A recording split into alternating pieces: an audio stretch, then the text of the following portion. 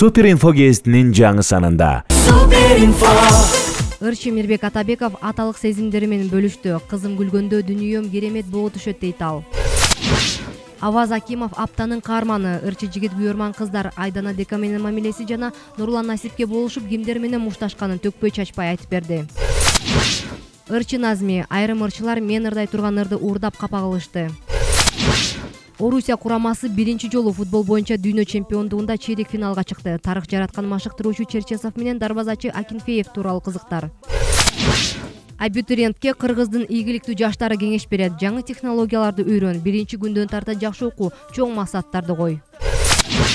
Кореяга ишке орноштурам деген адам кыргыз жигиттерден үч миң доллардан алып из жашырып кеткен. Чет жака иштеп келүүдө алдамчылардан кантип сактануу керек он алты жылдан бери оор тагдырга кабылган кыз келиндерге жардам берип жаткан кризистик борбордун башчысы дарика аселбекова. Акыркы убакта үй бүлө үчүн күрөшкөн адамдар азайып кетти.